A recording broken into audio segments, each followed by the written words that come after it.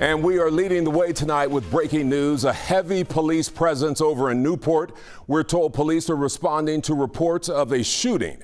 Good evening, everyone, and thank you for joining us tonight at 11. I'm Curtis Fuller. All of this happening near the Newport Aquarium in a crowded area. WLWT News 5's Daisy Kershaw is live over there for us tonight. Daisy, what can you tell us about what's going on there? Well, Curtis, police are just starting to clear the scene here at Newport on the levee. Just a few minutes ago, this whole area behind us was blocked off with police tape as officers searched the area on foot. And when crews first arrived here tonight, we were seeing a large police presence.